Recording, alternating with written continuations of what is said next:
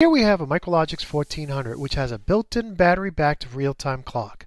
And after a couple years of use, you may find the battery low light comes on. And at that point, you'll likely want to replace the battery. Note, for demonstration purposes, my Micrologix 1400 is not powered, but in a running system, you want to leave power on your 1400 so that no data is lost when you replace the battery. Now on the right hand side of the micro is a battery compartment with this removable cover that comes off just like this.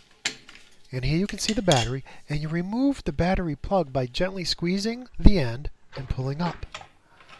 With the plug removed, you can now pull the battery out and replace it with a new one, putting the battery in the clip and then plugging it back in. And that can be a little tricky because of the way the plug is keyed.